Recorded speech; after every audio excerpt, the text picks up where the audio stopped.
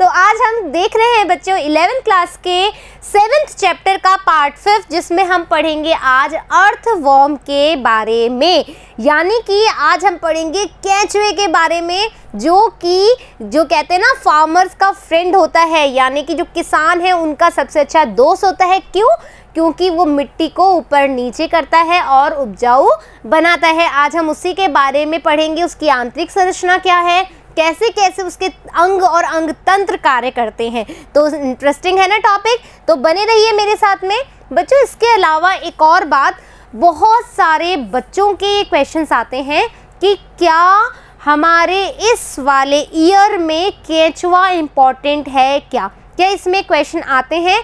तो बच्चों, जैसा कि मैं आपको हमेशा कहती हूँ कि कभी भी जो भी पढ़ाया जा रहा है, वो कहीं ना कहीं, कभी ना कभी ज़रूर काम आता है।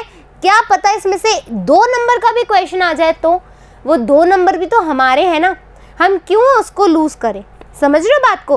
तो इंपॉर्टेंट तो है और समझ में भी आ जाएगा कि हाँ जो और सबसे बड़ी बात है कि हमारा जो भारत है वो कृषि प्रधान देश है। तो जब हम अपने किसानों के दोस्त के बारे में बात करें तो, तो उसको पढ़ना तो वेरी इंपॉर्टेंट हाँ है ना? तो पढ़ते? तो कीचुआ यह एनालिडा संघ का सदस्य होता है। तो बच्चों, जब प्राणी जगत हमने पढ़ा था, आप और एक्स्ट्रा इन्फॉर्मेशन लेना चाहते हैं तो प्राणी जगत एक बार वापस से देख लीजिएगा कि एनालिडा संघ में हमने क्या क्या फीचर्स देखे थे क्या क्या कैरेक्टर्स देखे थे तो आपको केंचुए के बारे में लिखने के लिए और चीज़ें मिल जाएगी कि वो किस संघ का है, क्या है, किस तरीके का है है ना? तो जो केचुआ है वो एनालिडा संघ से, यानी कि जो एनालिडा फाइलम है, उससे क्या करता है? बिलोंग्स करता है। इसके अलावा आप पूरी इसकी एक वर्गीकरण बना लीजिएगा। क्या ऑर्डर है? क्या फैमिली है? क्या फाइलम है? ये सब चीज़ें भी। फाइन आवास व स्वभाव। ठीक है? आवास कैसा है? किस तरह का हैबिटाट है? किस तरह का इनका जो कहते हैं ना हैबिट कैसा है? हैबिट और हैबिटाट यानी कि स्वभाव कैसा है और इसके साथ में उसका हैबिटाट कैसा है? दैट मीन्स उसका आवास कैसा है? तो केंचुए। स्थलीय अकशेरुकु प्राणी होते हैं। अकशेरुकी यानी कि इनमें जो कशेरु की दंड है वो प्रेजेंट नहीं होती है। ये नम मिट्टी की ऊपरी सतह में निवास करते हैं। बच्चों, ये चीज़ और ये चीज़ समझने के लिए मैंने आपको बताई दिया है कि प्राणी जगत में अपन ने पढ़ लिया है चैप्टर फोर्थ में अच्छे से तो आप वहाँ से और अच्छे से रिकॉल कर सकते हैं, ताकि आपका बेसिक और ज़्यादा स्ट्रांग हो जाएगा। फाइन ये नम मिट्टी के ऊपरी सतह में निवास करते हैं। कहाँ इनका हैबिटाट कि जो नम मिट्टी होती है, जो खोखली मिट्टी लाइक होती है ना, जैसे एकदम गीली गीली सी जैसे उठाएँ तो एकदम अपन को लगे कि अरे, ये तो जमी हुई नहीं है। फाइन वहाँ पर केचुए मात्रा में पाए जाते हैं। कैसी मात्रा में? अधिक मात्रा में। ये दिन के समय में ज़मीन के अंदर स्थित, बिलों में रहते हैं। यदि हम बात करें इनके रहने के स्वभाव के बारे में तो दिन के समय में ये क्या कहते हैं? जो बिल बनाते हैं मिट्टी के अंदर, ठीक है? वहाँ पर ही रहते हैं क्योंकि मिट्टी को छेद कर और निगल कर बनाते हैं। मतलब मिट्टी को निगल करते हैं, जो पेशनी अब आगे पढ़ोगे, उसको डाइजेस्ट करते हैं वहाँ पर और मिट्टी को खोदते रहते हैं। जो इनका आगे का जो मुख होता है, उससे ये खोदते रहते हैं। कैसे अभी बात करेंगे? फाइन केचुए अपने द्वारा एकत्रित जो उत्सर्जी मल है ठीक है? जो इनका जो सर्जी मटेरियल होता है जो एक्सक्रीटरी प्रोडक्ट हो, होता है उस प्रोडक्ट को क्या करते हैं? इकट्ठा करते जाते हैं जो कि क्या कर रहे तभी तो कहते हैं ये क्या करते हैं? वर्मी कंपोस्ट बनाते हैं। क्या बनाते हैं? यानी कि कास्ट बन, कास्टिंग करते हैं वॉर्म कास्टिंग करते हैं वर्मी कंपोस्ट बनाते हैं। कैसे बनाते हैं? जो अपना मल है उसको इकट्ठा करते जाएँगे मिट्टी में। और इससे क्या होगी? तो मिट्टी को खोदते रहते हैं है ना? खोदते रहते हैं और ऊपर से अपना मल भी इकट्ठा करते जाते हैं। तो वहाँ पर क्या बन जाएगी? खाद बन जाएगी जो कि उस मिट्टी को उपजाऊ बनाने में हेल्प करती है। क्लियर बात? अब इंपॉर्टेंट फेरेटिमा और लैम्ब्रिकस। फेरिटिमा और लैम्ब्रिकस सामान्य भारतीय केचुए हैं। आपसे पूछा जा सकता है, भारतीय केचुए कौन कौन से होते हैं? तो फेरिटिमा और लैम्ब्रिकस हमारे भारतीय केचुए होते हैं। ठीक है? तो यहाँ पर ये जो है अर्थवॉर्म का एक नॉर्मल सा पिक्चर दिया है, जहाँ पर इसका ये सबसे आगे वाला पार्ट है, वो माउथ है, जिसको उसके बाद में जो हम बोलते हैं प्रोस्टेमियम है सिलेटी सिलेटिलम है सीटे है, जो शुक होता है, जो उसको गमन करने में हेल्प करता है सेगमेंटेड होती है इसकी बॉडी है ना? हम आराम से आगे पढ़ेंगे, अभी जस्ट मैं बता रही हूँ, ये पोस्टीरियर पार्ट है, एक होता है वेंट्रल एक होता है डॉर्सल फिर एक होता है एनस जो गुदा होता है, जिससे एक्सट्रीटरी जो भी प्रोडक्ट है बाहर निकलता है। आया समझ में? अब हम पढ़ेंगे डिटेल में। आकार की, है ना? यानी कि अब हम उसके पढ़ेंगे स्ट्रक्चर के बारे में शेप के बारे में, वो भी कौन सी? इंटरनल यानी अनोटमी पढ़ने वाले हैं। उसके शरीर के बारे में पढ़ने वाले हैं। फाइन आकृति, इनका शरीर लंबा और बेलनाकार होता है। इनका जो शरीर है वो बच्चों को कैसा होता है? लंबा होता है और ट्यूबुलर होता है, यानी कि बेलनाकार होता है। फाइन खंड, यानी कि हमको पता है जो केचुए होते हैं, जो अर्थवर्म होते हैं, उनकी जो स्ट्रक्चर है, ये कैसी है देखो? सेगमेंटेड है, यानी ये सेगमेंट्स में डिवाइड होते हैं। फाइन तो लगभग 100 से 120 समान समखंडों, समखंड यानी कि समान, है ना? सम यानी एक मतलब जो इसका शेप होगा, वो दूसरे खंड का भी होगा, वो तीसरे खंड का भी, चौथे खंड का भी पाँच यानी समान खंडों में विभाजित होते हैं, जिनको हम बोलते हैं मेटामियर्स इंपॉर्टेंट है ये। ठीक है? पूछा जाता है कि जो मेटामियर्स है, वो क्या है और कितने होते हैं? तो 100 टू 120 जो सिमिलर होते हैं, समान खंड होते हैं, उसको हम बोलते हैं मेटामियर्स ठीक है? तो केचवे का जो शरीर है, वो क्या होता है? खंडों में विभाजित होता है, जिनको हम मेट्रामियर्स कहते हैं, और इनकी संख्या लगभग 100 से 120 होती है। कलर। कलर इनका कैसे होता है? रेड टू ब्राउन यानी लाल से भूरे रंग की तरफ़ जाते हुए। इनका जो वर्णक है, वो कैसा है? लाल से भूरे रंग की तरफ़ जाता है, इसलिए इनका जो रंग है, वो कैसा है? लाल भूरा होता है। रेड टू ब्राउन कलर होता है, या रेड ब्राउन कलर होता है, सतह। अब इनकी जो सतह है है ना? बच्चों, देखो कभी कभी हम लोग जो है ना समझ नहीं पाते। हिंदी में भी हम पढ़ते हुए हिंदी के शब्द नहीं समझ पाते। एक होती है पृष्ठ सतह एक होती है अधर सतह हम्म? एक होती है, यहाँ लिख दो? पृष्ठ सतह एक होती है हमारी अधर सतह ठीक है? तो जो पृष्ठ सतह है पृष्ठ यानी पीछे वाली भाग, है ना? और अधर यानी कि आगे वाली भाग। तो हमारा जो आगे है वो कौन सा है? ये वाला पार्ट जो मैं आपसे रूबरू हो रही हूँ, आप मुझसे रूबरू होंगे। भाई, आप पीछे देख करके तो ऐसे देखेंगे नहीं। मुझे ऐसे थोड़ा देख सकते हो, या मैं आपको ऐसे थोड़ा देख सकती हूँ। मुझे मुड़ना ही पड़ेगा टर्न होना ही पड़ेगा। मेरा अग्र भाग आपके सामने आएगा ही आएगा। हाँ या ना? मतलब मैं अपने वेंट्रल पार्ट वेंट्रल पार्ट जो अपना अग्र भाग है, वो कैसा कहलाता है? वेंट्रल पार्ट कहलाता है। क्या कहलाता है? वेंट्रल ठीक है? और जो मेरा ये बैक साइड है जो पीछे वाला भाग है, वो कौन सा कहलाता है हमारा? डॉर्सल। क्या कहलाता है? डॉर्सल। तो इसी तरीके से हमें पता लगाना है कि जो सतह है केचुए की, जो अर्थवॉर्म की जो सतह है, कौन सी वेंट्रल है और कौन सी डॉर्सल है? कौन सी पृष्ठ सतह है और कौन सी अधर सतह है? ये हमें देखना है। तो बच्चों, जब भी हम केचुआ देखते हैं, ठीक है? ये जो अभी सेगमेंटेड तो पूरा ही होगा, ठीक है? हाँ है ना? ये सेगमेंटेड तो पूरा होगा। कैसे पता लगेगा कि डॉर्सल पार्ट है कि वेंट्रल पार्ट है? हाँ या ना? तो देखो, जैसे हमारा मुख है है ना? और तो इसका भी मुख है, वो नीचे की तरफ़ होगा। तो जहाँ पर अंग वाला पार्ट होगा, जैसे इसका प्रजनन तंत्र होगा, है ना? इसके जो अंग तंत्र होंगे, वो नीचे की तरफ़ होंगे। ठीक है? तो ये जो नीचे वाला पार्ट है, वो कौन सा हो जाएगा इसका? वेंट्रल है ना? यानी कि अधर सतह। जो कि ज़मीन से टच होती है। जो कि ज़मीन से जो रेंगता रहता है लाइक ये फाइन ये देख रहे हो, ये मान लो भी कैचुआ है। ये कैचुआ है, इस पे अब बटन बने हुए यानी कि ये इसके तंत्र है, किसके केचुए के। ये इसके तंत्र है, ये ज़मीन से टच रहेंगे। ये इसका जो ऊपर वाला भाग है, ये इसकी पृष्ठ सतह है है ना? तो पृष्ठ सतह पे आप देखोगे तो एक एकदम मोटी सी लाइन होगी बीच में, एक मिड रे ठीक है? अरे भाई, ये, ऐसे ये मिड ठीक है? अलग से दिखेगी आपको। जो इसका डॉर्सल पार्ट होगा, ये जो इसका डॉर्सल पार्ट होगा, वहाँ पर एक डार्क लाइन होगी। तो आपको केचुए को देख के पता लग सकता है भाई, आपसे पूछा जा सकता है लैब में भी।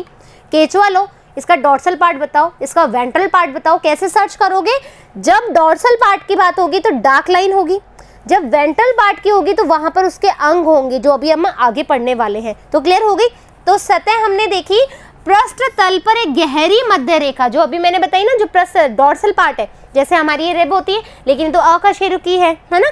तो यहाँ पर आपको एक, ये यहाँ पर अपने तो ये चीज़ होती है, लेकिन यहाँ पर एक इनकी मिड रेज होती है, एक रेखा होती है, जिसकी वजह से हम देख सकते हैं कि ये उसका डॉर्सल वाला पार्ट है, अधर तल। यानी कि जो ज़मीन से टच होता है, जनन छिद्र पाए जाते हैं, मैंने कहा था ना, इनका प्रजनन तंत्र पाया जाता है और जिसकी वजह से ये पृष्ठ तल से विभेदित किए जाते हैं। यानी आप डिवाइड आप विभेदित कर सकते हो कौन सा डॉर्सल पार्ट है और कौन सा वेंट्रल पार्ट है। क्लियर हो गई यहाँ तक की बात? समझ में आ गया? हमने देखा है कि ये देखो कलर चेंज कर लूँ, पहले ये लो कर लिया। फाइन ये हमने देखा केंचुए का पार्ट केंचुए पे आपको ये लाइन दिख रही है? ये जो रेड अरे भाई, ये देखो। ये जो बीच में एक रेखा दिख रही है आपको। ये देखो, ये वाली रेखा हाँ यही यही ये वाली जो रेखा है बच्चों, ये क्या है? इसकी एक मिड रेखा है मिड लाइन है, जो कि इसकी कौन से वाले सतह को दिखाता है? डोर्सल पार्ट को दिखाता है। कौन से पार्ट को दिखाता है? डोर्सल बोले तो पृष्ठ सतह को दर्शाता है। इसके अलावा जब हम इधर वाले बात की करेंगे, यहाँ पर इसका ये क्या है? रंध्र है, ठीक है? यानी कि इसका प्रजनन तंत्र है है ना? जनन तंत्र है। तो हम इसमें यहाँ पे कोई मिड रेख दिख रही है क्या? कोई भी रेखा दिख रही है, नहीं दिख रही है। हाँ या ना? तो यहाँ पर हम इससे पता लगा सकते हैं कि ये इसका वेंट्रल पार्ट है, यानी कि इसकी अधर सतह है। क्लियर यहाँ तक की बात समझ में आ गई? आगे चलते हैं, क्या हो रहा है? अब मुख, ठीक है? मुख जो है, वो शरीर के अग्र भाग पर मुख व पुरोमुख होता है। ठीक है? यहाँ पर बच्चों स्पेलिंग जो है गलत हो गई है। क्यों? क्योंकि जस्ट अ वेट यहाँ पर जो है, वो है प्रोस्टियम प्रोस्टोमियम ठीक है? प्रोस्टोमियम यहाँ पे टी आएगा। शरीर का अग्रभाग और पुरोमुख होता है। अब क्या होगा? पुरोमुख क्या है? पुरोमुख एक संवेदी संरचना है, यानी कि एक सेंसिबल स्ट्रक्चर होता है। एक पाली लोब में मुख को ढकने वाली एक फानन नुमा संरचना है, जो मुख है, ठीक है? ये जैसे लिप्स है हमारे। है ना? ये क्या कर रही है? हमारे माउथ को कवर कर रही है। तो ये जो लिप्स वाली संरचना है, इनकी यहाँ पर ये देखो, जैसे मैंने ये केचुआ बनाया अभी। फाइन ये मेरा केचुआ है अभी। जो मेरा ये रिमोट है, वो अभी मेरा केचुआ है। तो केचुए के ऊपर ये जो नीचे वाला पार्ट है, ये यहाँ पर इसका मुख है। ये जो गोल गोल दिख रहा है आपको? आई होप कि दिख रहा हो। ये गोल गोल है इसका मुख है। यहाँ पर एक सतह निकली हुई ऐसे। ये जो सतह निकली हुई है, ठीक है? ये तो हो गया इसका मुख और पीछे वाला जो खंड है, वो हो गया उसका पूर्व मुख। ठीक है? आया समझ में? ये फानन मृदा दरारों को खोलकर क्रमी को उसमें अंदर रेंग कर जाने में मदद करती है। तो यहाँ देखो एक बार डायग्राम क्लियर हो जाएगा अच्छे से। इधर देखो, ये जो पहला वाला पार्ट है, ये वाला जो पार्ट है है ना? जो क्या कर रहा है? मिट्टी को खोदने का काम कर रहा है। मिट्टी को ऐसे ऐसे हटाता है और अंदर रैंग कर जाता है। मिट्टी को ऐसे ऐसे फ्लैपिंग करता है, हटाता रहता है और मिट्टी के अंदर रैंगने कर हेल्प करता है। तो ये फ़र्स्ट जो पार्ट है, ठीक है? इसको हम बोलते हैं पुरोमुख, यानी कि प्रोस्टीमियम क्या बोलते हैं? प्रोस्टीमियम यानी कि पुरोमुख, जो कि क्या कर रहा है? मिट्टी को हटाकर उसको रैंग कर अंदर जाने में हेल्प कर रहा है। फाइन नेक्स्ट जो खंड देख रहे हो आप, ये है इसका पेरिस्टोमियम परितुंड। क्या है? पेरिस्टोमियम परितुंड। फाइन अब क्या हो रहा है यहाँ पर? जो परितुंड है, शरीर का पहला खंड। आपसे देखो, पुरोमुख और जो परितुंड है, उसमें कंफ्यूज नहीं होना है। मुख, पुरोमुख, परितुंड। मुख, परिमुख और परोमुख और परितुंड। तीन बात पड़ी मुख, सबसे आगे वाला पार्ट। उसके ऊपर एक फाननुमा संरचना है, जिसको हमने पुरोमुख बोला, जो कि मिट्टी में रैंक कर जाने में उसको हेल्प कर रहा है। फिर हमने बोला, जो प्रथम खंड है बिकॉज़ वी नो दैट कि जो अर्थवॉर्म है, वो खंडों में विभाजित है तो पहला जो खंड है, बहुत सारे खंड है काउंटिंग करेंगे अभी हम, जो पहला खंड है, वो क्या है, उसका परितुंड कहलाता है। आ गई बात समझ में? तो शरीर का पहला खंड, परितुंड, यानी पेस्टोमियम कहलाता है, जिसको मुख में उपस्थित होता है, जो क्या होता है, जिसके अंदर इस परितुंड में इसका पूरा क्या है देखो हॉल वाला जो संरचना देख रहे हो, ये इसका मुख द्वार है और यहाँ पर ये इसका क्या है, मुख होता है। परितुंड में इसका मुख होता है। क्लियर बात? आगे बढ़े। पर्याणिक। ठीक है? पर्याणिक। इनमें चौदह से सोलह खंड। कलर चेंज करने का बहुत दिक्कत है यहाँ पे। क्या होगा? इनमें चौदह से सोलवे खंड। बच्चों, याद रखना है आपको। ये जो प्रथम खंड है, ठीक है? जो पहला खंड है वो किसको दिखा रहा है अपना? परितुंड को हाँ है ना? जिसके अंदर क्या है? मुख है। फिर पर्याणिक हमने देखा चौदह से सोलह। ऐसे लिखते जाना है आपको। पर्याणिक क्या है? चौदह से सोलवा खंड है। ऐसे करके साइड में, ये तो पढ़ते जा ही रहे हैं, साइड में शॉर्ट नोट्स बना लो। पहला खंड, परितुंड, जिसमें मुख होता है। चौदह से सोलह खंड बोल रहा है, जहाँ पे पर्याणिक यानी कि क्लाइटेलियम है। ठीक है, क्लाइटेलियम है, यहाँ पे पर्याणिक को बोलते हैं क्लाइटेलम ठीक है तो इनमें चौदह से सोलहवें खंड तक चौड़ी ग्रंथिल, गोलाकार पट्टी होती है, एक चौड़ी ग्रंथिल, गोलाकार पट्टी होती है। इन ग्रंथिल उत्तक वाले खंडों को, इन ग्रंथिल उत्तक वाले खंडों को हम क्या बोलते हैं? क्लाइटेलम कहते हैं। क्या कहते हैं? क्लाइटेलम। क्या कहते हैं? क्लाइटेलम। फाइन इस प्रकार शरीर का जो तीन प्रमुख भाग होते हैं अग्र पर्याणिका पर्याणिक और पश्च पर्याणिक खंडों में विभाजित होता है। आइए देखते हैं इन द डायग्राम। क्या हो रहा है डायग्राम में कि ये आप देख रहे हो, ये भाग देख रहे हो। यहाँ पर ये देखो, एक अलग से शेप लग रही है है ना? और ये कौन सा भाग है? चौदह से सोलह। ये जो खंड है वो कौन से हैं? ये जो पूरी शेप देख रहे हो, यहाँ पर चौदह से सोलह खंड है और ये गोलाकार संरचना है, जिसको हमने क्या बोला? क्लाइटेलम ठीक है? पर्याणिक। अब इसके ऊपर वाला जो भाग है, ये जो भाग देख रहे हो, पर्याणिक का ऊपर वाला भाग, ये कहलाएगा अग्र पर्याणिक। अग्र पर्याणिका। और ये हो जाएगा हमारा क्लाइटेलियम यानी कि पर्याणिक। जो ये इतना सारा नीचे वाला भाग है, ये कहलाएगा हमारा पश्च पर्याणिक यानी कि तीन खंडों में बढ़ गया।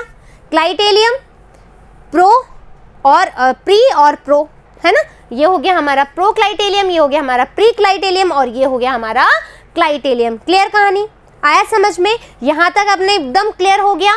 पहला हमने देखा फ़र्स्ट वाला जो खंड था वो परितुंड, जिसके अंदर मुख प्रेजेंट होता है। फिर हमने देखा चौदह से सोलह, एक गोलाकार संरचना है, इसको हमने क्लाइटेलियम बोला।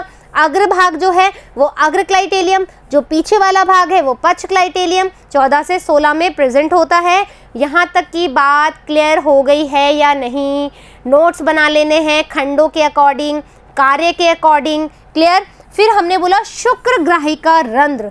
शुक्र ग्राहिका रंध्र जो है, पाँच से नौ खंडों में। अब, परितुंड पहला खंड, ठीक है? फिर चौदह से सोलह खंड में हमने पास पर्याणिक देखा। फिर पाँच से नौ खंड में हमने देखा शुक्र ग्राहिका रंध्र। जो शुक्र ग्राहिका रंध्र है, वो कहाँ पर है? पाँच से नौ खंड में होता है अंतरखंडीय खांचों में। अधर पार्श्वीय, अधर अधर यानी अधर पार्श्व पीछे की तरफ़ भाग में चार जोड़ी शुक्र ग्राहिका स्थित होती है, जिसको हम बोलते हैं स्पर्मेथोएथिकल एपरेटस। स्पर्मेथोएथिकल एपरेटस स्पर्मेथोएथिकल एपरेटस कहते हैं। ये पाँच से नौ खंडों में पाई जाती है अग्र से पक्ष भाग की तरफ़। कैसे? आओ डायग्राम में देखें। यहाँ पर कहाँ गया? यहाँ पर अभी दिखाई नहीं दे रहा बच्चों लेकिन अभी अपने जो नेक्स्ट वाला जो आएगा ठीक है? नेक्स्ट डायग्राम आएगा उसके अंदर शुक्र ग्राहिकरण देखते हैं अभी अपन। हम्म, इधर भी नहीं है, क्योंकि ये वही डायग्राम है। कोई बात नहीं, जब अपन अंत वित्ती पढ़ेंगे, ठीक है? उसके अंदर अपने पास आएगा, मैं आपको वैसे इसमें बता देती हूँ। अपन वैसे भी तो देख सकते हैं। यहाँ पर जो होगा ना बच्चों अधर से पार्श्व सतह पे, यहाँ पर अपने होगा क्या? इस तरह का स्पर्मेथोथिकल ये रहा ये रहा बच्चों, अब क्या इंग्लिश का प्रॉब्लम होता है ना? ये देखो, एक, ये जो है, ये तो जनन क्षेत्र है, यहाँ पर ऐसे ना खंड होता है। खंड में एक, दो, तीन, चार। कैसे बोल रहा है ये? चार जोड़ी। ये चार जोड़ी, है ना? हो गया चार जोड़ी? तो पाँच से नौ खंडों में इस तरह से चार जोड़ी शुक्र ग्राहिका पाई जाती हैं, जिसको हम इस पर वो एथिकल एपरेटस कहते हैं। ये जब अपन अंत दे भित्ति पढ़ेंगे इसकी, तब आपको समझ में आएगा। क्लियर हो गई यहाँ तक? नेक्स्ट देखें अपन। मादा जनन छिद्र। अब मादा जनन छिद्र कहाँ है? चौदवे खंड की मध्य अधर रेखा पर स्थित होते हैं। ठीक है? ये देखो, ये जो चौदवा खंड है उसकी मध्य अधर, ये मादा जनन तंत्र, ये एक होता है सिंगल। ठीक है? जो आपने पढ़ा था क्लाइटेलियम का होता है, चौदह से सोलह। हाँ है ना, हमने ये पढ़ा चौदह सोलह। और चौदहवें पे ही, और चौदहवें खंड पे ही मादा जनन रंध यानी कि जब आप एक से जितने भी इसके खंड है, कैचुए के, आप लिखोगे एक खंड पे कुछ बताया, मुख बताया। फिर एक से तीन पे बताया जब अभी आहार नालम पढ़ेंगे, उसमें भी एक से तीन में क्या है, चार से पाँच में क्या है छः से नौ में क्या है तो अपन ऐसे एक से पूरी गिनती लिख लो खंड। खंड लिखा, जैसे पहला खंड लिख दिया मैंने, है ना? फ़र्स्ट खंड लिखा, इसमें क्या है, इसमें एक चीज़ आ गई, दूसरी कोई चीज़ आई, वो भी लिख लो, तीसरी कोई चीज़ आई, वो भी लिख दो, चार चीज़ आई तो इस तरीके से जितनी भी पहले खंड में चीज़ है, वो आपको पता लग जाएगी। है ना? गुड आइडिया ये मेहनत मैं कर सकती थी। मैं चाहती तो मैं कर सकती थी, लेकिन मैं नहीं करूँगी, क्योंकि कुछ तो रिस्पॉन्सिबिलिटी आपकी भी होनी चाहिए। हाँ है ना? मैं समझा रही हूँ, आपको समझ में आ रहा है तो आप ऐसे कर सकते हो, चाहो तो आपके ऊपर है। क्लियर बात? करोगे तो आपका ही फ़ायदा है। हाँ?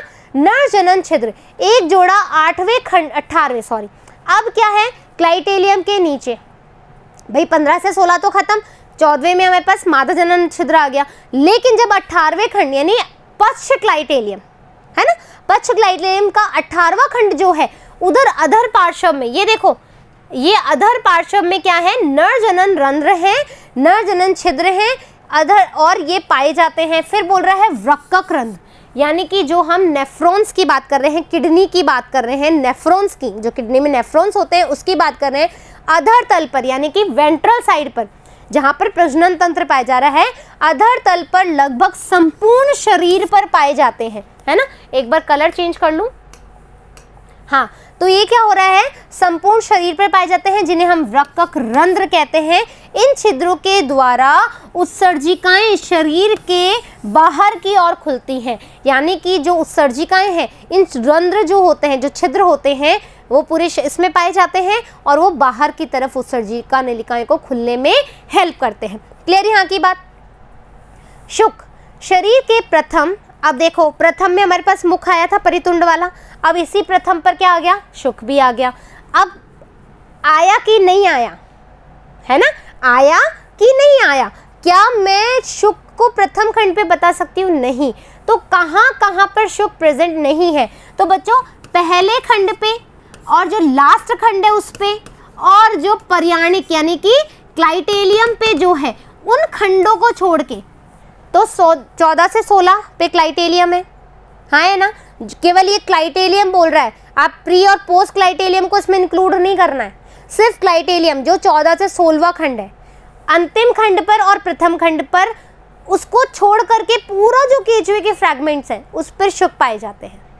और ये शुक क्या आप करते हैं? छोटे छोटे ऐसे देखो, ये जो ऐसे इसकी संरचना है, इस पे ऐसे ऐसे ऐसे ऐसे ऐसे ऐसे प्रेजेंट होते हैं। ऐसे ऐसे ऐसे ऐसे प्रेजेंट होते हैं इसके साइड ये क्या करते हैं इसको? लॉक्यूमेशन में, यानी कि इसको गति करने में हेल्प करते हैं। तो ये सीटें पाए जाते हैं ऐसा आकार के होते हैं ये, ठीक है? ऐसे यानी शुक, याद कर लेना, इसको हम सिटे बोलते हैं इंग्लिश में। क्या बोलते हैं? सिटे। ठीक है? जो प्रत्येक खंड के मध्य में स्थित उपकला गर्त में धसे रहते हैं। यानी कि साइड में जो उपकला है, उसमें धसे रहेंगे ऐसे, और क्या करेंगे? चलने में उसको हेल्प करेंगे। क्लियर हो गई बात? अब क्या होगा? शुक छोटी बाल के समान संरचना है, जो एक हेयर लाइक स्ट्रक्चर होता है। क्यों? क्योंकि छोटे छोटे पाँव होते हैं इसको, जो चलने में हेल्प करते हैं, और जो फैल भी सकते हैं और सिकुड़ भी सकते हैं। ये ओपन भी हो सकते हैं और ऐसे संकुचित भी हो सकते हैं। और ये क्या करते हैं? गति में महत्वपूर्ण अदा, एक भूमिका जो है वो अदा करते हैं। यहाँ तक क्लियर यहाँ तक एकदम क्लियर तो हमने क्या बोला? जो शुक है वो कहाँ पर प्रेजेंट होगा? कहाँ पे प्रेजेंट होगा? उसका प्रथम, है ना? और उसका जो पर्याणविक है, वहाँ और अंतिम खंड को छोड़ करके पूरे बॉडी में। क्लियर हो गई बात? तो आंतरिक आकारिकी अभी हमने पढ़ लिया कि उसकी बाहरी आकारिकी कैसी है, आवाज़ कैसा है तो आंतरिक आकारिकी क्या है? तो सबसे बड़े, पहले पढ़ेंगे हम उसकी देह भित्ति के बारे में फाइन तो देह भित्ति क्या है? केचवे का शरीर एक पतली अकोशिकीय परत, यानी कि असेल्युलर जो होगी, है ना? अकोशिक कोशिकाएँ उसमें नहीं होगी, एक परत से ढका रहता है जिसे हम उप त्वचा कहते हैं। क्या कहते हैं? एपिडर्मिस उप त्वचा कहते हैं, इसके नीचे अधिचर्म, है ना? उसके नीचे क्या होगा? अधिचर्म होगा। फिर दो पेशीय होंगी जो कि गोलाकार होंगी और लंबवत होंगी, दो पेशीय और उसके बाद में सबसे अंदर की ओर एक दुही उपकला पाई जाएगी। यानी कि मैं उसकी देह भित्ति के बारे में बात करूँ, ठीक है? उसकी देह भित्ति के बारे में बात करूँ तो एक सबसे पहली जो त्वचा है, उसको हम बोल रहे हैं कहाँ गई? उपत्वचा, है ना? एपिडर्मिस उपत्वचा। उसके नीचे हमने बोला, एक अधिचर्म है, यानी कि एक लेयर और है है ना? इसको हम बोल रहे हैं अधिचर्म। फिर बोल रहा है दो पेशीय दो पेशीय पाई जा रही है। जो पेशीय है वो कैसी है? गोलाकार है और लंबवत है। है ना? गोलाकार है और लंबवत है। ये दो पेशीय पाई जा रही है। हाँ है ना? फिर इसके नीचे की ओर। नीचे की ओर। जो सिलोम होती है, इसकी जो देह गुहा होती है, उस पर एक भित्ति पाई जा रही है। हाँ या ना? ये जो देह गुहा है, उस पर एक उपकला भी पाई जा रही है। क्लियर हो गया? तो इस तरीके से इसकी क्या हो गई? देह भित्ति बन गई। यहाँ तक क्लियर हो गया। समझ में आया? आगे देखें। अधिचर्म। जो अधिचर्म है, ये कौन सा है? अधिचर्म। आपको पता है, जितने भी ऑर्गन होते हैं, वो बाहर से पर लाइनिंग होती है, जो किसकी होती है? एपिडर्मल टिश्यू की। तो अब आपसे पूछा जा सकता है, जो कैचुए की जो एपिडर्मल है जो केचुए की एपिडर्मल है, वो किस टाइप की है? किस तरीके की है? कौन से प्रकार की है? तो कौन से प्रकार की स्तंभकार उपकला की है? कौन से प्रकार की है? स्तंभकार उपकला, यानी कि जो अधिचर्म है है सॉरी जो उपत्वचा है, ये किसकी बनी है? Columnar. Columnar epithelium. Columnar epithelium tissue से मिलकर बनी हुई होती है। ठीक है? आया समझ में? कि जो इसका ऊपर वाला जो सबसे जो त्वचा है है ना? जो इसकी अधिचर्म है सॉरी जो अधिचर्म, यानी कि नीचे हाइपोडर्मिस ठीक है? जो अधिचर्म है, वो किससे मिलकर बनी हुई है? कॉल्यूमनार एपीथीलियम टिश्यू से मिलकर बनी हुई है। क्लियर हो गई बात? देखो बच्चों कभी कभी क्या है कि I am also human being फिर ठीक है? कभी कभी हम बोलने में मिस्टेक कर जाते हैं, लेकिन यदि हमें अपनी गलती समझ में आ जाए और उसको सुधार ले तो वो हमारी क्या है? समझदारी है। मुझे लगा मैंने गलती करी तो आई हैंडल इट ठीक है? आपको ऐसा लगता है तो आप मुझे बता सकते हो। कभी कभी मैं शब्दों में भी गलत बोल सकती हूँ, है ना? क्योंकि आई ऑल्सो ह्यूमन बींग ना, गलतियाँ हो जाती है। बट इस गलती को मैं ये नहीं बोलूँगी नहीं, मैंने तो नहीं बोला। ऐसा नहीं है, हुई है तो it's okay we are sorry है ना? आई एम सॉरी ठीक है? तो हमने क्या बोला कि अधिचर्म स्तंभाकार उपकला की बनी हुई होती है और क्या हुआ? जिसमें अन्य प्रकार की कोशिकाएँ कौन कौन सी? जैसे हमने बोला था सिक्रेटरी ग्लैंड्स जो स्त्रावी, जो अवशोषण और स्त्रावण में हेल्प करती है तो स्त्रावी ग्रंथि कोशिकाएँ भी इसमें प्रेजेंट होती है किसमें अधिचर्म में जो कि कॉलमनार एपिथेलियम का बना हुआ होता है। क्लियर है? नेक्स्ट आहार नाल। अब हम इसके बारे में क्या पढ़ेंगे? आहार नाल के बारे में पढ़ेंगे। ईजी है? इंपॉर्टेंट है? क्वेश्चंस आते हैं बहुत सारे तो फोकस होने ठीक है? शरीर के प्रथम से अंतिम खंड तक एक लंबी सीधी नली के रूप में उपस्थित होती है। ये देख रहे हो आप? इसका पूरा शरीर है। तो ये जो प्रथम है इसका, जो मुख है, वहाँ से लेकर जो गुदा है लास्ट तक, वहाँ तक आहार नाल प्रेजेंट होती है। क्लियर कहानी? मुख। आपको मैंने बताया था, जो डाइजेस्टिव सिस्टम होता है, जो आहार नाल होती है, वो माउथ से स्टार्ट होती है। और एक्सक्रीटरी मॉलिक्यूल जो एक्सक्रीटरी सिस्टम है, वहाँ पे ख़त्म होती है। हाँ ना? ये मैंने आपको पहले डिस्कस किया था। तो मुख से अपन डिस्कस करेंगे, प्रथम खंड पर मुख उपस्थित होता है, जो परितुंड वाला पार्ट हमने बताया था, जो प्रथम खंड है, उसको हम परितुंड कहते हैं, जिसके अंदर मुख होता है। हाँ? तो मुख मुख गुहा में खुलता है। नेचुरल सी बात है, जो माउथ है, ये जो माउथ है, वो ओपनिंग कहाँ होगी? हमारी मुख गुहा में होगी। ये जो पूरा है, हमारा एक मुख गुहा ही है। हाँ है ना? मुख गुहा।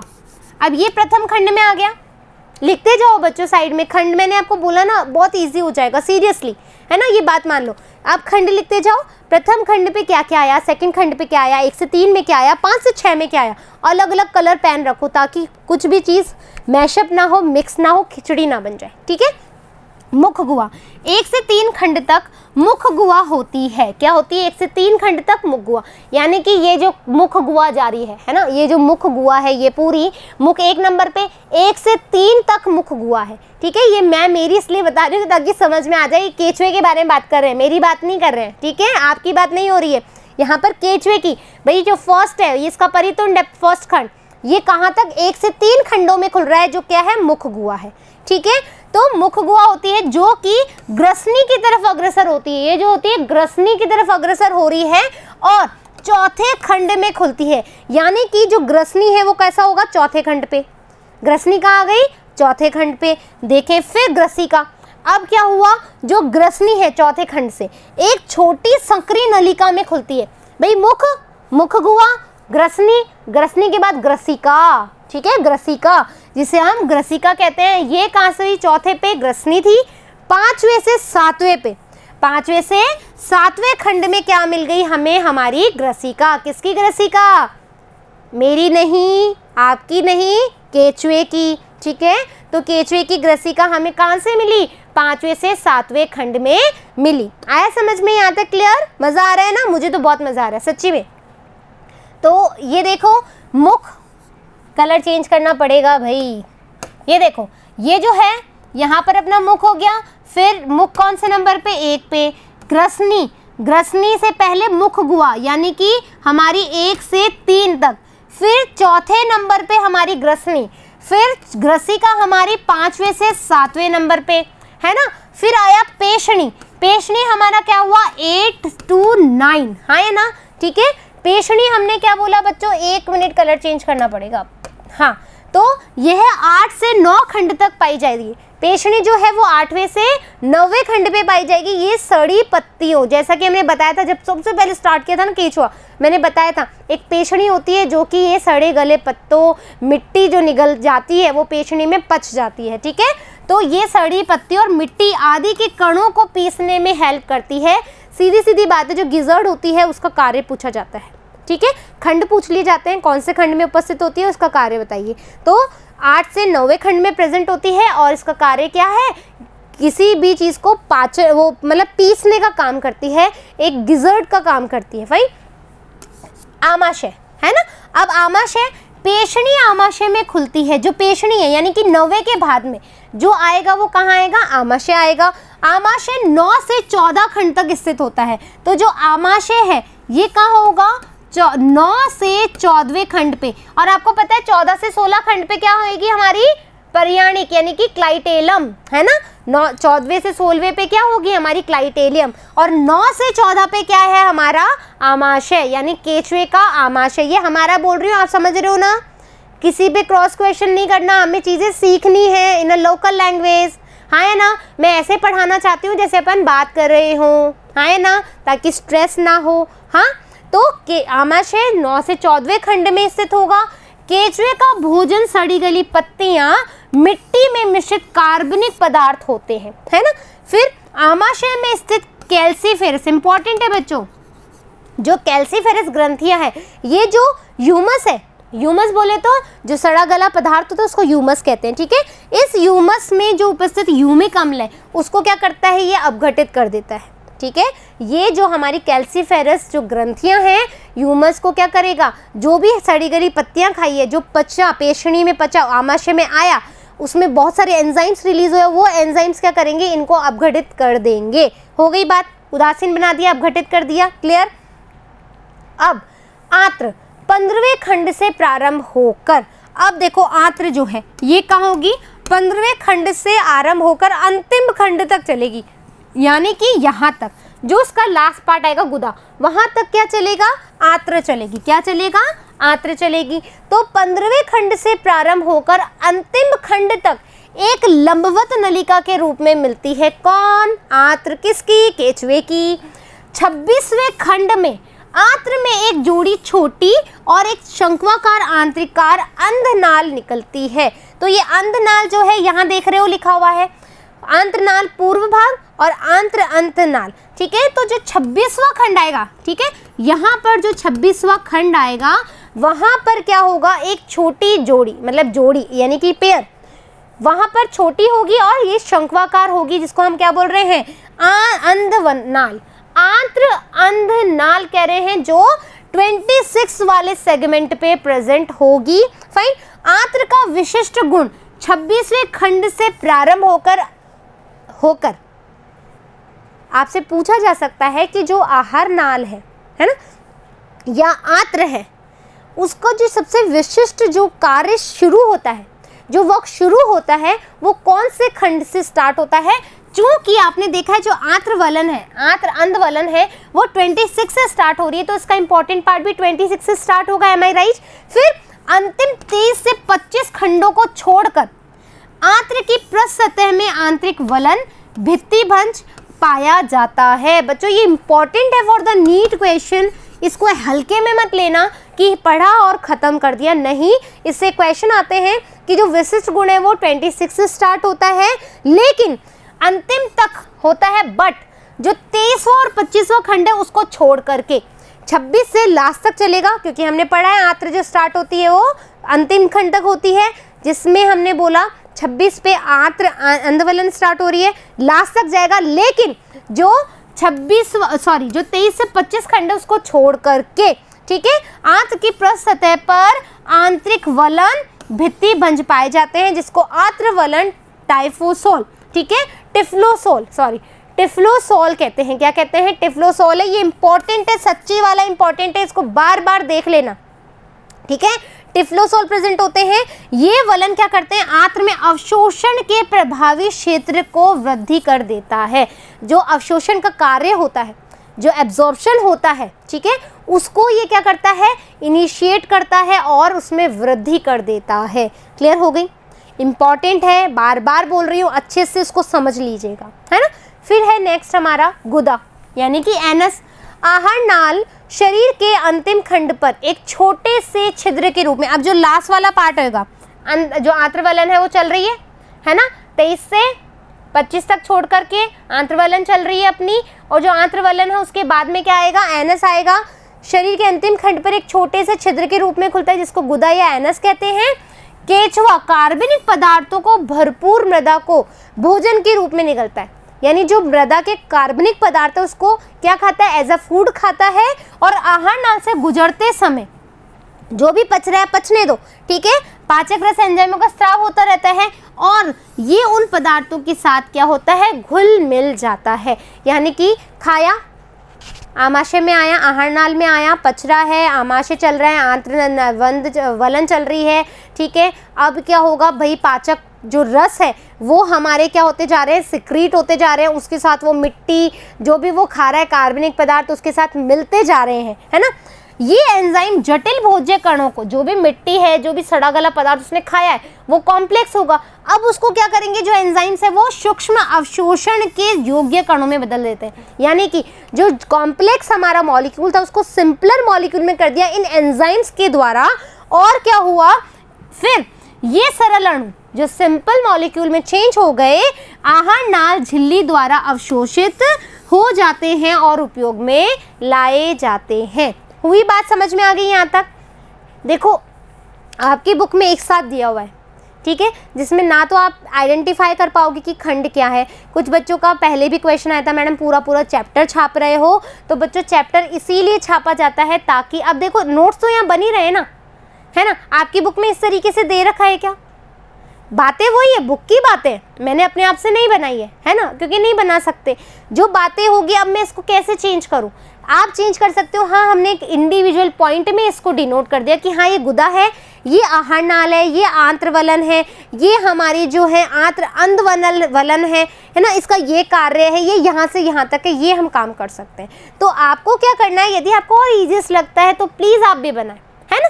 थोड़ी मेहनत तो बनती है, बच्चों, बिल्कुल बनती है डेफिनेटली फिर हमने देखा परिसंचरण तंत्र। अब हम बात करेंगे इसके परिसंचरण तंत्र के बारे में, यानी कि रक्त का बहाव कैसे होता है है ना? तो फेरिटीमा केचुए का जो रुधिर परिसंचरण तंत्र है, वो कैसा होगा? बंद प्रकार का, प्राणी जगत वाले में आपको सब तरीके से मैंने पढ़ा है कि खुला परिसंचरण तंत्र क्या होता है और बंद परिसंचरण तंत्र क्या होता है। यदि बंद परिसंचरण की बात करेंगे तो वहाँ पे रक्त वाहिनियाँ प्रेजेंट होंगी। ठीक है?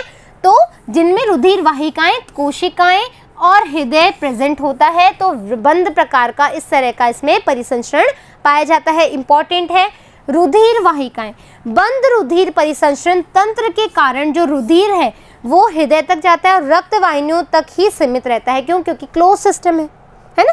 क्लोज सिस्टम है, भाई पंप करेगा, रुधिर तक फैलता रहेगा बॉडी तक जाता जाएगा। ये सिस्टम होगा। है ना? संकुचन रक्त परिसंचरण को क्या होता है? एक दिशा में रखता है। मतलब एक यूनिडायरेक्शनल होती है, एक निश्चित दिशा में ही वो करता है। फिर सूक्ष्म रुधिर वाहिकाएँ रक्त को आहार नाल, तंत्री का रज्जु और शरीर भित्ति तक पहुँचाने का कार्य करती है। और जो ब्लड वेसल्स है, वो क्या करेगी? ब्लड को पंप करेगी। हार्ट तक ले जाएगी, जैसे तंत्रिका रज्जु में ले जाएगी और शरीर के और भी जो सिस्टम है, उसके पास लेकर जाएगी। फाइन रुधिर ग्रंथियाँ। जो रुधिर ग्रंथियाँ हैं, चौथे, पाँचवें और छठे देह खंड पर पाई जाती है। अब आपने पाँचों छठा खंड लिखा होगा हाँ या ना? ठीक है? तो वहाँ पर आपको ये भी ऐड करना है कि रुधिर ग्रंथियाँ भी पाई जाती है। फाइन ये ग्रंथियाँ हीमोग्लोबिन तथा रुधिर कोशिकाओं का निर्माण करती है। और ये जो कोशिकाएँ वो क्या करती है? हीमोग्लोबिन बनाता है, जो हमारे पिगमेंटेशन के लिए इंपॉर्टेंट होता है हाँ या ना? और ये क्या करता है? रुधिर कोशिका, और क्या करता है ये? हीमोग्लोबिन, ये ऑक्सीजन को क्या करता है? पंपिंग करने का काम करता है, पता ही नहीं करता। आप देखेंगे, मुझे कमेंट बॉक्स में लिखेंगे what is the function of haemoglobin in a blood ठीक है? हीमोग्लोबिन का क्या कार्य है, ये आप मुझे बताएँगे। रुधिर प्लाज्मा में घुल जाती हैं, इनकी प्रकृति भक्षाणविक होती है। कैसी होती है? भक्षाणविक, यानी कि जो फैगोसाइटोसिस होती है, वैसी। फिर, जो हृदय है केचवे में चार जोड़ी नलिकाकार।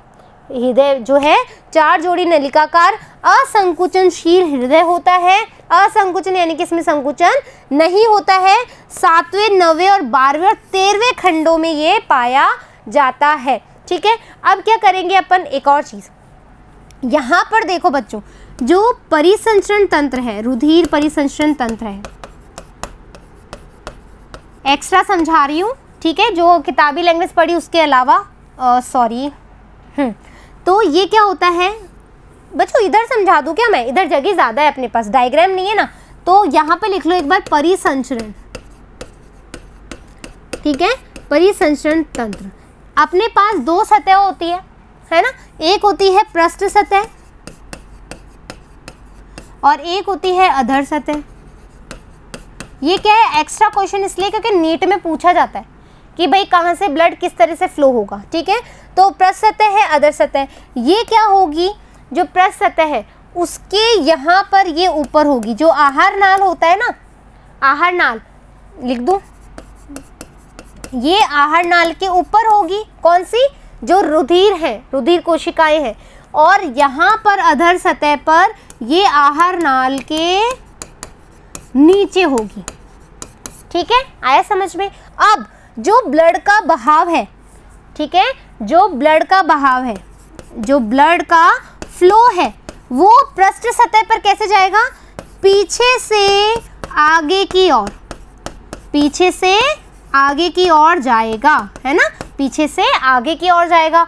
और जब अधर सतह पर अपन रुधिर का फ्लो देखेंगे ब्लड फ्लो देखेंगे तो ये आगे से आगे से पीछे की ओर जाएगा। अभी कैसे याद करोगे? अ, अधर, ठीक है? प, पृष्ठ, याद रहेगा? अ, अधर, प, पृष्ठ, ठीक है? आया समझ में? तो परिसंचन तंत्र हमने देखा दो सतह होती है अप्रस्थ सतह और अधर सतह। वहाँ पर हमने देखा कि ये आधा आहार नाल के ऊपर होता है और यहाँ पर आहार नाल के नीचे होता है। कौन? परिसंचरण तंत्र में जो रुधिर कोशिकाएँ होती है, वो। फिर ब्लड का जो फ्लो करती है, वो कैसे? प्रस सतह पर पीछे से आगे की ओर होगा और अदर सतह पे आगे से पीछे की ओर होगा। फिर ये आगे जाएँगी और दोनों मिक्स हो जाएँगी। और कहाँ जाएगी? हृदय में। कहाँ जाएगी? हृदय में। हृदय में हमने देखा, एक बार पीछे चले। देखो, हृदय में हमने देखा कि ये चार जोड़ी नलिकाकार होती हैं। यहाँ पे चार जोड़ी नलिकाकार होती हैं, असंकुचनशील होती है और नवे, बारहवें और तेरहवें खंड पर प्रेजेंट होती है। तो हमने क्या किया? ये हृदय में गई, इसकी ये चार जोड़ी चार जोड़ी जो नलिकाएँ हैं, जो कि बारहवें, तेरहवें और एक मिनट। सॉरी बच्चों। तेरहवें और सॉरी नवे, बारहवें, तेरहवें, है ना? हम्म नवे, बारहवें और तेरहवें खंड पर प्रेजेंट होती है। आया समझ में? देखो, हमने क्या बोला कि जो परिसंचरण तंत्र है, हमने परिसंचरण तंत्र की बात करी श्वसन तंत्र की नहीं, कि भाई दोनों सतह हैं, रुधिर वाहिकाएँ होंगी, ठीक है, वो आगे से पीछे पीछे से आगे की ओर जाएँगी, एक साथ मिल जाएँगी हृदय में जो चार जोड़ी नलिकाएँ हैं, जो कि नवे, बारहवें, तेरहवें खंड में प्रेजेंट है, वहाँ जाकर के मिक्स हो जाएगी और ब्लड का फ्लो करेंगी। ये हो गया इसका परिसंचरण तंत्र। अब हम श्वसन तंत्र की बात करेंगे, ठीक है? यानी कि रेस्पिरेशन सिस्टम की बात करेंगे श्वसन। तो बच्चों, जो केचुआ होता है, उसका श्वसन तंत्र इतना विकसित नहीं होता है, ठीक है? ना के बराबर होता है। केचुए में विशेष श्वसन तंत्र नहीं होता है। जो श्वसन है, जो गैसों का विनय है, जो उसकी आर्द्र सतह होती है, उसमें रुधिर द्वारा संपन्न होता है, जो ब्लड का जो फ्लो होता है, उसी के द्वारा जो गैसों का विनिमय है, वो संपन्न होता है। यहाँ तक आपको समझ में आ गया? आज ही और अभी थोड़ी देर बाद में एक बार सुनो दूसरी बार फटाफट नोट्स बना लो। ठीक है? ज़्यादा टाइम मत लगाना। क्यों? क्योंकि जब आप उत्सर्जन तंत्र से अभी आगे पढ़ोगे, उत्सर्जन तंत्र, इसका प्रजनन तंत्र, इसका तंत्री का तंत्र पढ़ोगे तो कन्फ्यूज़ हो जाओगे। यहाँ तक एकदम क्लियर कर लो। वो बना लो, साइड में जो मैंने बताया, खंड बना लो, उसकी कार्य लिख लो कि किस किसमें कौन कौन से खंड में क्या क्या चीज़ें दे रखी हैं। ईजी हो जाएगा समझने में। फिर जब अपन अपन पढ़ेंगे कॉकरोच और फ्रॉक पढ़ेंगे तो आपको एकदम ये लगेगा, अरे, केंचुआ तो मुझे अच्छे से आता है। रात में भी पूछ लो कौन से खंड में क्या है। तब होगा जब आप बनाओगे खुद से। ठीक है? आप बनाओगे, कोई क्वेश्चन है तो प्लीज़ मुझसे कमेंट बॉक्स में लिखो। कुछ नहीं समझ में आ रहा है, कुछ और चेंज कर सकते हैं पढ़ाने के तरीके में तो वो भी मुझे बताना। फिर मिलेंगे नए पार्ट के साथ में। धन्यवाद।